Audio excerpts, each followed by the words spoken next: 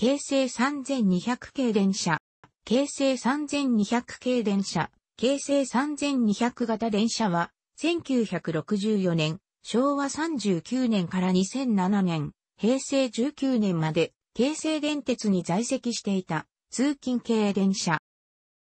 東京都交通局、都営地下鉄浅草線乗り入れ対応車両である。また、浅草線を介して接続している、京浜急行電鉄各線にも乗り入れが可能だったが、こちらは、1998年、平成10年11月18日以降、北総へリースした車両以外営業運転では乗り入れなくなった。1964年10月から1967年12月までに3201から3280.3291から3298の88両が製造された。外観上の3150型との相違点は、形成初の両開きドア、アルミ製、窓ガラスは黒エッジゴム指示で、室内部は化粧板と同色に塗装を採用した点と、正面形状、丸妻折妻、運転台の床が高くなったことによる窓サイズの変更、前面のアンチクライマーの数が増えた点、3150型は2本、3200型は3本である。また、運転台の床、運転席側のみが高くなったことで、運転席側の乗務員室扉の下場が高くなっている。側面窓配置は、英断500型や都営地下鉄5000型と同様に、扉間に3カ所、5一車単に2カ所で、首都圏近郊の18メートル両開き扉車、東京急行電鉄7000系、低都高速度交通英断、現、東京地下鉄3000系とは異なった配置となり、3500型まで引き継がれた。この D1、D3、D3、D2 という窓配置は、阪神電気鉄道など関西私鉄では採用例が多い。3291から3298の8両は特急、海運号用として1600系の置き換えと高性能受けのために製造されたため、座席は座席指定性を維持するため、セミクロスシートで3292と3296にはトイレ並びに車内販売準備室も設置し、側面の客用扉は3150型と同様に片開き構造とされた。AE 型登場後は格下げを前提としたため、AE 型が営業運転に入った直後の1974年、昭和49年にトイレの撤去と座席のロングシート化が実施されたが、扉は片開き構造のままで、3150型との際は、運転台回り細部のみである。1964年10月から11月に製造された3201から3224のうち3201から3220の20両は初代3000型から3150系の赤電と同様に編成中のすべての台車に主電動機を装着した、いわゆる 8M 車である。3224編成は、先頭車の運転台寄りの台車を主電動機のない付随台車とした試験車として登場した。それに伴い主電動機出力も 75kW から 100kW に増強された。その後1965年、昭和40年製の3228編成から1982年、昭和57年5月製の3500系3596編成までこのタイプで落成した。これを、京成部内では、6M 車と呼ぶ。その他の途中増備車での変更点は以下の通りである。鉄道ピクトリアル1997年1月号、参照。1985年、昭和60年7月から1989年、平成元年6月にかけて、更新工事と冷房装置の搭載が行われた。3150型に引き続き前面前消灯、微灯の位置変更、急行灯の新設、妻窓の廃止、ユニット間貫通路の強幅化、分割可能に、室内化粧板の変更、ベージュからイエロークリームへ、ファンデリアを首振り扇風機に交換、電動発電機の大容量化、CLG-319 から CLG-355A に交換。ただし3221から3260と3291の41両は CLG-319 を廃止、静止系インバータ、SIV の BS-483B を戦闘車のみに搭載。3294のみ引き続き CL-319 を使用。ベンチレーターを廃止分散式冷房装チップ -15 の設置などが行われた。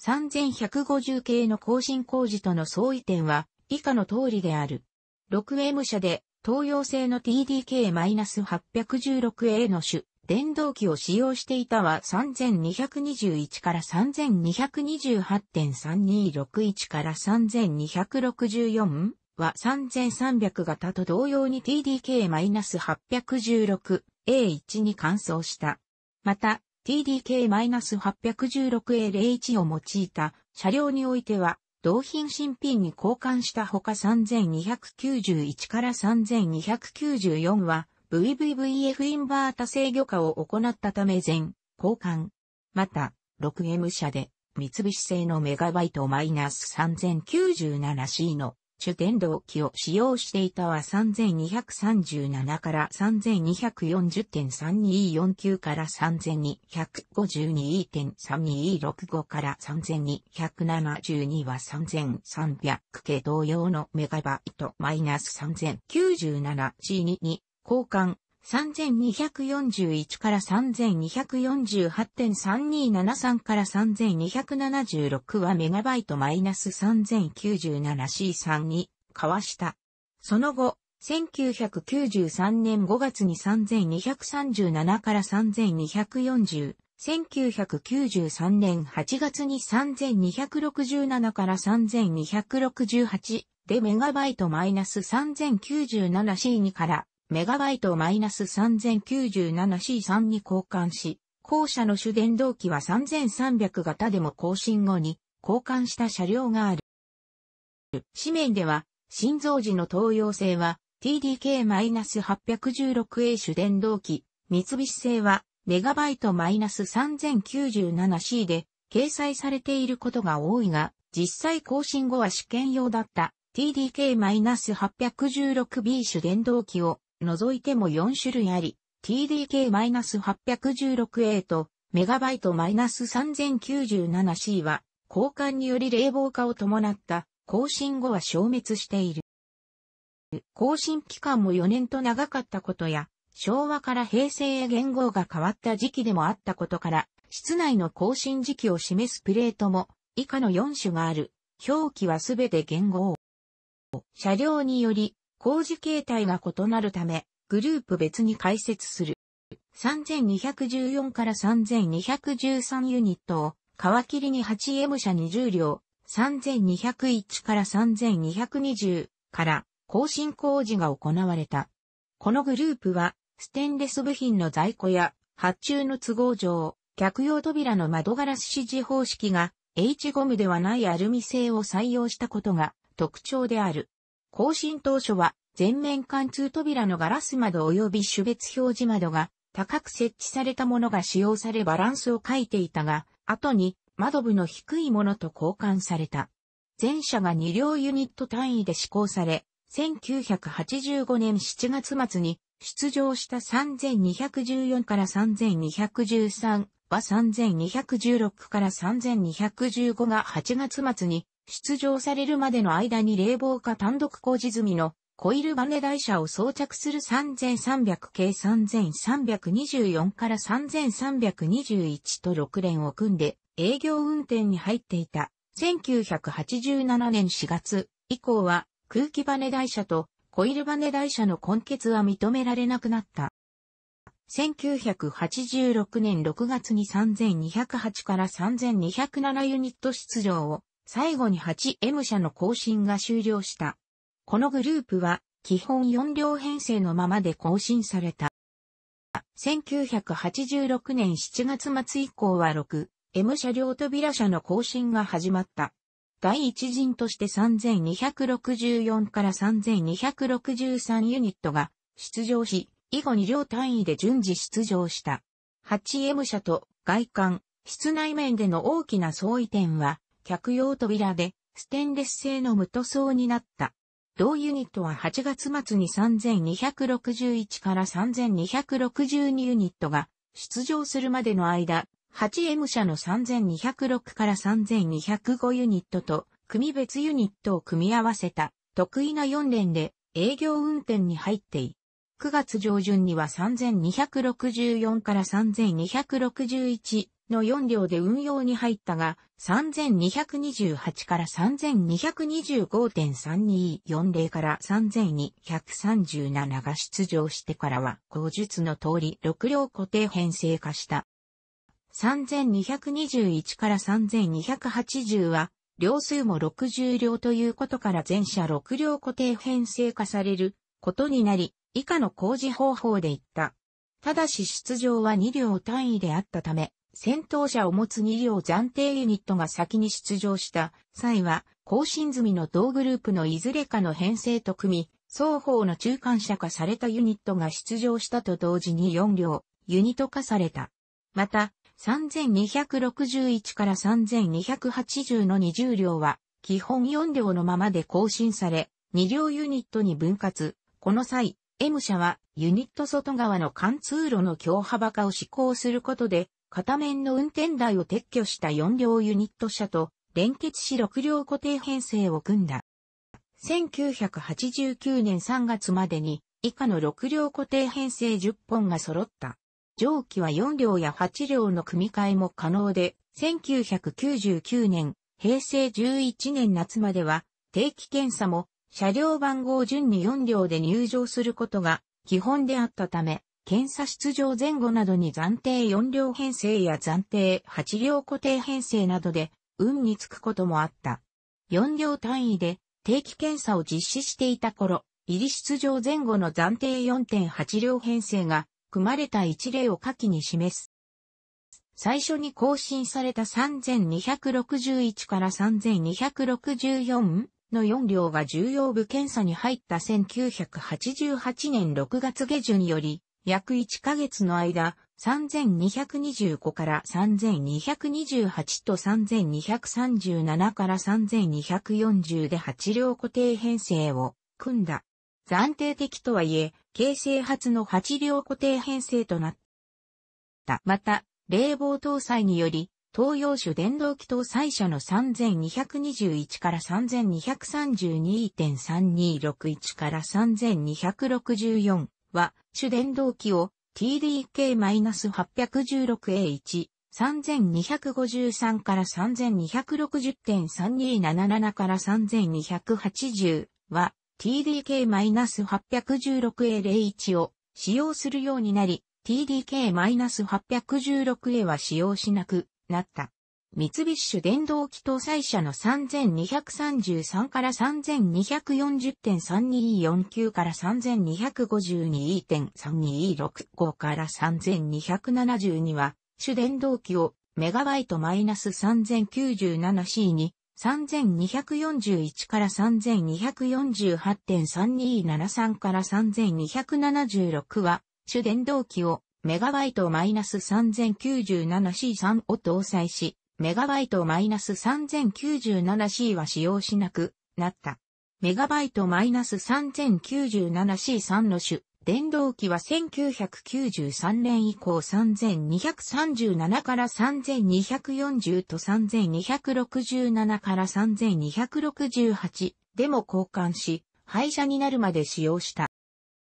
1988年5月出場の3294編成は VVVF インバータ制御試験車として登場した。東急7600系などで実績のある東洋、電気製造製の G と素子仕様のインバータ装置を搭載した。外観上の他の3200型との相違点は、前面の透過類の形状で、全小灯と微灯が角型一体ケースになっている。3291と3294は、伝送解除をして区派化。3291に SIV 搭載。3292は、パンタグラフ2台搭載。3294の MG は予備用として非冷房、更新工事前の5.5区場の CLG-319 が残された。3291のみ CP の駆動電動機が交流化され AC-1000 に変更され、3294は直流モーターの C-1000 が継続使用された。同編成は4両単位で出場した。抵抗制御車で更新、冷房和美の3150型との根結も可能で、1989年6から7月に成田空港型に3187の3188ユニットと組んだ6レーンで営業運転に入ったが、以後3150型との根結はなくなった。3298編成は最終更新車で3298から3297が1989年4月下旬に出場し、3296から3295が出場するまでの間は3150系の3158から3155と組んで6連で営業運転に入っていた。3296から3295が6月上旬に出場すると同時に車号順の4両編成、3298から3295の蘇生をもって3200系の更新工事は終了した。3295と3298の CP の駆動電動機の交流化は行わず、C-1000 を引き続き使用している。1989年、平成元年9月、3222から3221ユニットで、重要部検査出場時に冷房過護更新前の3300系一自社3312編成すべての M 台車、並びに二次車の3326から3325ユニットで使用中だった 100kW の TD-816B に換装した。3300系二次車3326から3325ユニットは、1991年、平成3年2月の更新入場まで3222から3221ユニットと共に使用していた。1991年、平成3年11月に3229から3230ユニットでも重要部検査時に TDK-816B に換装し、共に独特な乗り心地が味わえた。しかし、後述の戦闘台車 M か振り替えに再始不都合であったためこれ採用せず、1992年、平成4年12月に3221から3222ユニットが戦闘台車振り替えを兼ねた重要検査出場時に、それとほぼ同時期に3229から3230ユニットは検査時以外だったが TDK-816A1 に戻した。よって1985年、昭和60年以来、3300系3326から3325ユニットを筆頭にで使用してきた TDK-816B は使用しなくなり、独特な走行音を発す車両もいなくなった。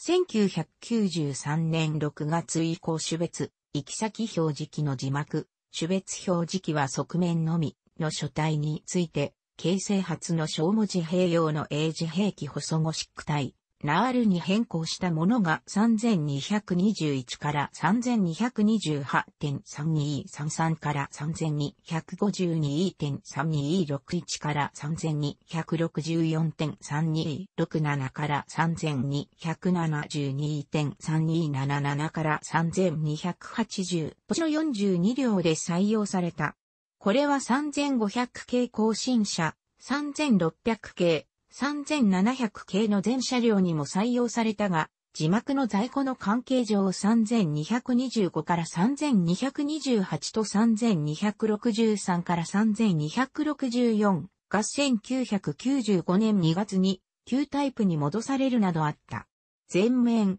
側面の種別表示器の字幕は2002年平成14年10月12日の種別変更によるダイヤ改正に対応するため、同年7月から9月にかけて交換されている。普通イコール黒、快速イコールピンク、特急イコール赤、などに各種別ごとに色分けし、前面膜は白地に種別色文字、側面膜は種別色地に白文字となった。また、書体は、細ゴシック体、ナールの英字兵器である。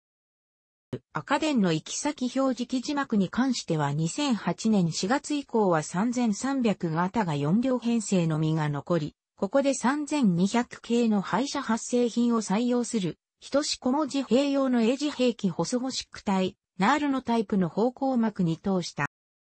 1993年11月末から1995年1月末の長期にわたって同一車両で以下の8両固定編成と4両編成で運用したことがあった。これは、1993年12月下旬に3277から3280を塗装変更とともに検査出場させ、3241から3244と3245から3248は1995年2月の検査出場及び塗装変更まで見送られたためである。なお、上記の編成は、検査入り出場前後とは関係なく1997年、平成9年春にも蘇生された実績がある。更新前の1968年、昭和43年6月以降までは京急上は、戦闘 T 台車の3200系 6M 車や3300系、3500型を含めと A 線、直通対応車は、クロスシート WC 付けだった3291から3298以外で規制なく乗り入れを追っていた。ただし当時の京急線乗り入れはシーズン期間の臨時列車のみで、その後は1978年、昭和53年1月をもって、京成車の京急乗り入れを一旦中止していた。京急側では釣りがかり駆動車の500型を淘汰した1986年、昭和61年8月より、基本戦闘車が M 台車でないと乗り入れ車も乗り入れできなくなった。1991年、平成3年3月19日のダイヤ改正以降、京成車の京急乗り入れは復活し、基本ダイヤでは初めて京急線に乗り入れることとなり、同時に北総開発鉄道、現、北総鉄道も乗り入れ開始し、特例のあった北総7000型も当時は先頭車が TC 車だったが、翌1992年、平成4年以降に先頭車 M 化の振り替え工事を行うことを約束した上で特例を得た上乗り入れていた。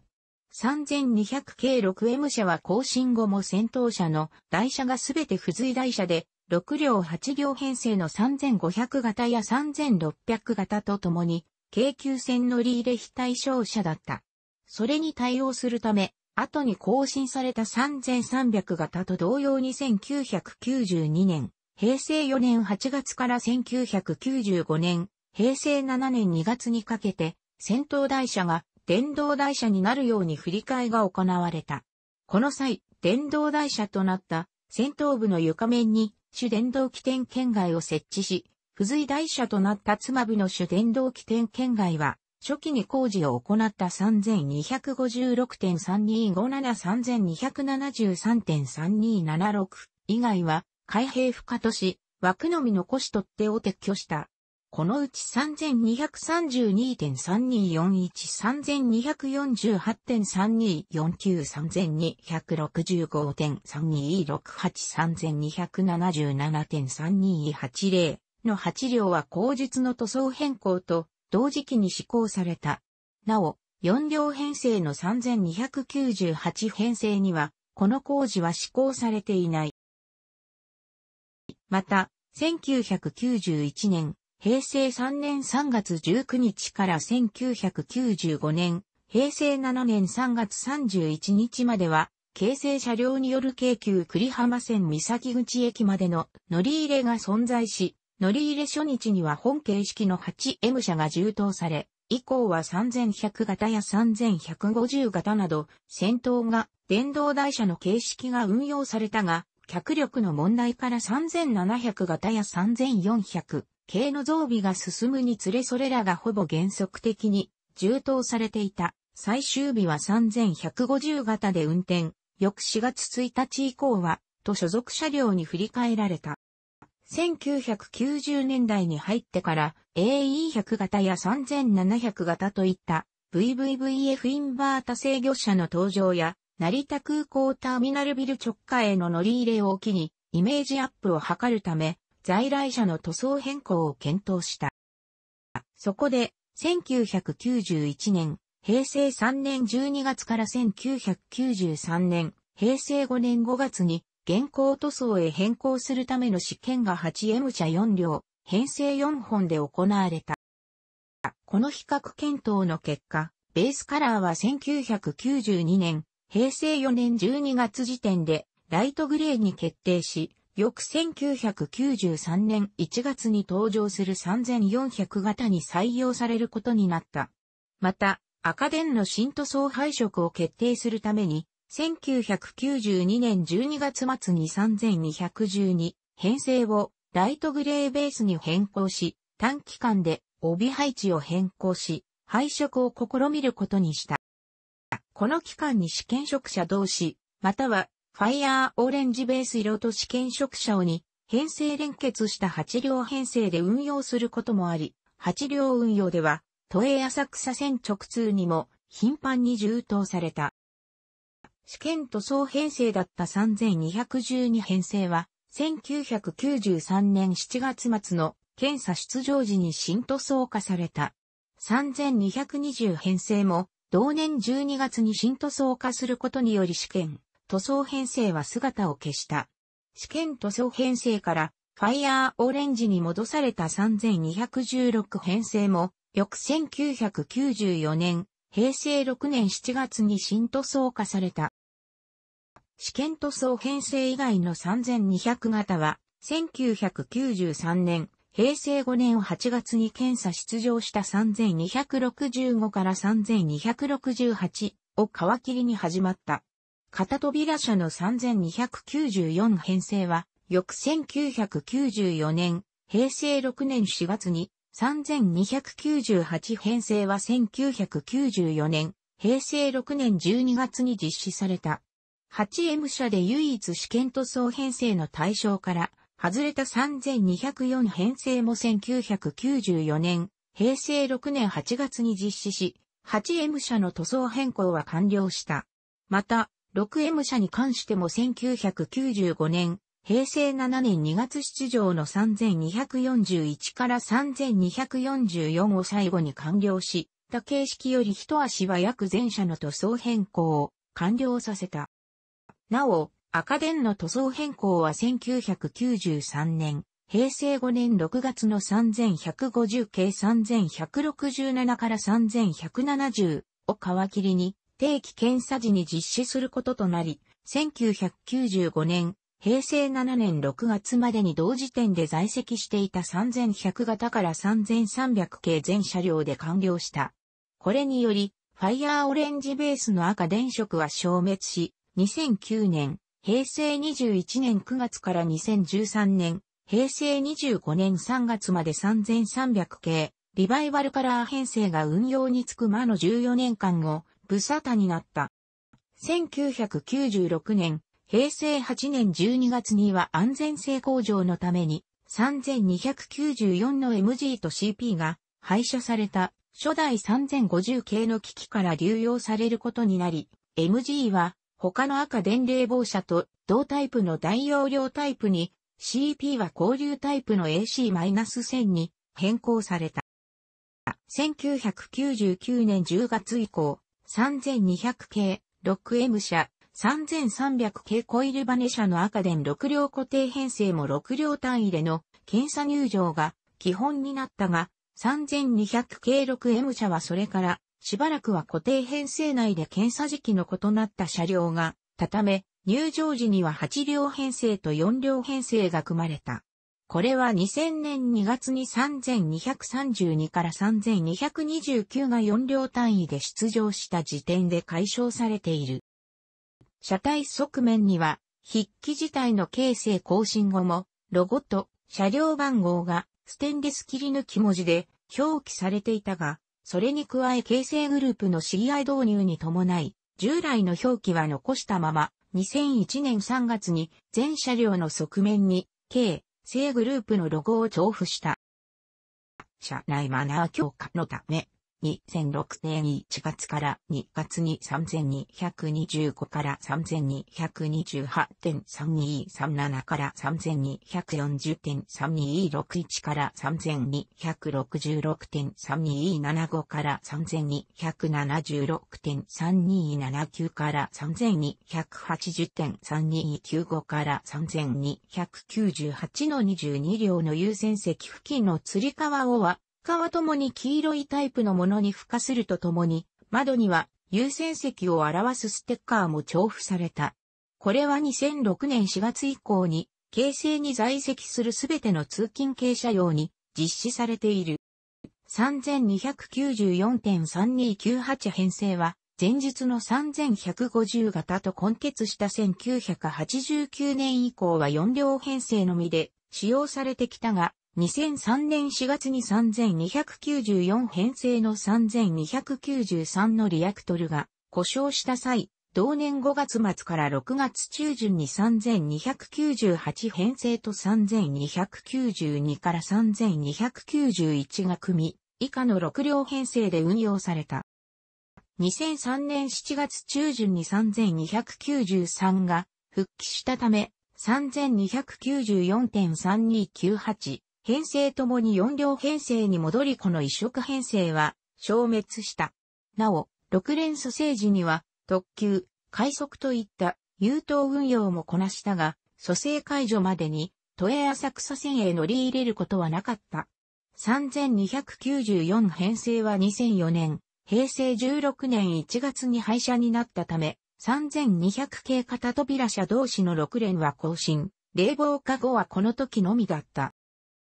2003年、平成15年3月から新3000系の導入に伴う老朽廃車が進行し、同月中に3205から3208と3211から3220の14両が廃車となった。残った 8M 車6両は、6両編成1本、上の方から3204の3201プラス3210から3209となって運用に入ったが、これも、翌2004年、平成16年1月に廃車になり、3200系 8M 車は消滅した。また、機器故障の多かった3294編成も2004年、平成16年1月に廃車となった。以後、2007年、平成19年11月の全廃時まで3200型は 100kW 主電動機搭載の 6M 車、見残った。6M 車は最初に2003年11月の3272から3271.3274から3273の2両ユニット2組の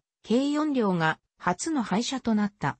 2003年、平成15年12月に3224から3221と3236から3233の8両が北総開発鉄道へリースされ、7250型として使用されていたが、後継者の7260系、形成3300系一時車と入れ替わって2006年、平成18年3月末に返却され、廃車になった。上記の廃車やリースに伴い、2003年末に3200系 6M 車の編成外が行われ、以下の新しい6両固定編成が登場した。余談だが、この編成は3200型で、唯一、2002年10月12日より運行した、現行と同停車駅だが、種別色は、現行とは異なりオレンジだった、通勤特急運用に充当されたことがある。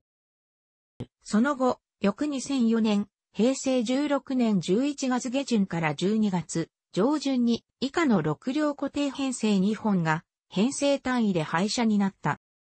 2006年、平成18年1月から3月には、3232から3231から3230から3229.3244から3243から3242から3241.3256から3255から3254から3253.3260から3259-3258-3257が4両ユニット単位で廃車された。編成を組んでいた2両ユニットの3266から3265.3270から3269.3276から3275.3280から3279は当面使用することになり、以下の変則4両編成を組むことになった。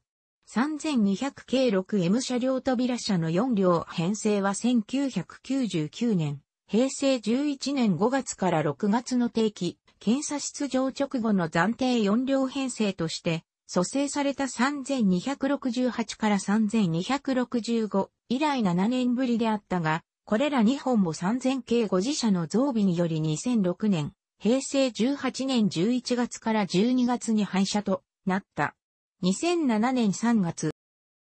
2006年、平成18年4月以降は、更新以来使用してきた6両固定編成は、以下の2本のみとなった。最後の片扉車となる3298、編成の4両編成は前述の通り2007年、平成19年1月に、リバイバル海運号として運行するため、2007年1月28日に臨時で運行、2007年1月17日から3月末の廃車までの間、往年の旧赤電塗装に変更し4両編成で運用した。